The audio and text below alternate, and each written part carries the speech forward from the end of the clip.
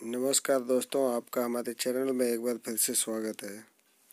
प्रेम विवाह करने वाले जोड़ों और शादी करने वाले युगलों से वसूली कर उन्हें बंधक बनाने के आरोप में पुलिस ने दिल्ली की चर्चित एनजीओ लव कमांडो के चेयरमैन संजय सचदेव को गिरफ़्तार कर लिया है। उसने कई जोड़ों को शेल्टर होम में बंधक बनाकर रखा था, जिन्हें पुलिस और दिल्ली महिला आयोग की टीम ने वहाँ छापा मारकर छुड़ाया। गिरफ्त में आया आरोपी संजोय सचदेव आमिर खान के चर्चित कार्यक्रम सत्यमेव जयते में भी आया था। संजोय सचदेव की पोल तब खुली जब एक पीड़िता ने खुद पुलिस को आप बीती सुनाई। हुआ यूँ कि महिला आयोग ने कुछ माह पहले एक लव कमांडो एनजीओ में एक प्रेमी जोड़े को रहने के लिए भेजा था। उन दोनों ने एक साल पहले शादी का फैसला किया था, लेकिन घर वाले राज़ी नहीं थे।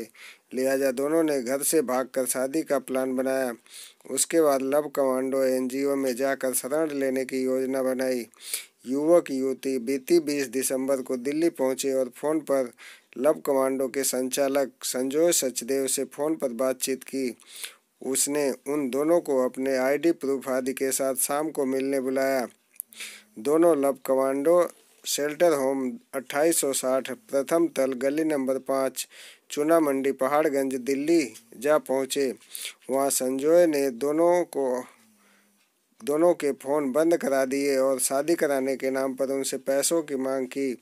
दोनों ने संजोय को बताया कि उनके पास करीब पचपन हज़ार रुपये हैं। संजय ने उन्हें प्रोटेक्शन के नाम पर करीब पचास हज़ार रुपये मांग लिए। फिर संजय ने अपने दो आदमी उनके साथ भेजे। वहाँ प्रेमी जोड़े ने एक एटीएम से चालीस हज़ार रुपये निकाल कर संजय को दे दिए। वो पैसे उस सोनू नामक शख्स ने आकर संजय को दिए। उसके बाद इन दोनों को वहाँ बंधक बना लिया गया। उनके दस्तावेज़ भी अपने पास रख लिए। लेकिन जब आयोग और पुलिस ने वहाँ जाकर लड़की से बात की तो पूरा मामला खुल गया। पुलिस को पता चला कि वहाँ उनके अलावा भी तीन जोड़े और बंधक बनाए गए थे, चारों युगलों को। पुलिस ने वहाँ से मुक्त कराया और आरोपी संजय को गिरफ़्तार कर लिया। उसके साथ हर्ष मल्होत्रा सोनू राजेश और गोविंदा नामक कर्मचारी भी आरोपी बनाए गए हैं। मुक्त कराए गए चारों जोड़ों को पुलिस ने अपने संरक्षण में सुरक्षित स्थान पर भेजा है और पूरे मामले की छानबीन की जा रही है। वहाँ से मुक्त कराए गए जोड़ों ने खुलासा किया कि आए दिन उनके साथ मारपीट की जाती थी।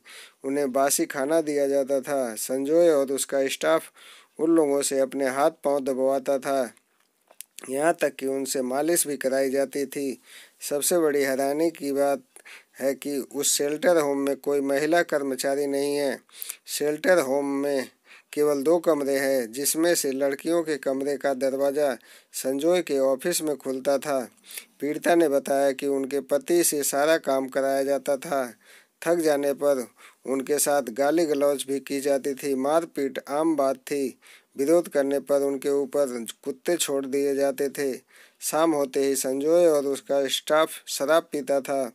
वहाँ रहने वाले जोड़ों को भी शराब पीने के लिए विवश किया जाता था। पुलिस अब पूरे मामले की तफ्तीश में जुट गई है। इस मामले में आगे और भी खुलासे हो सकते हैं।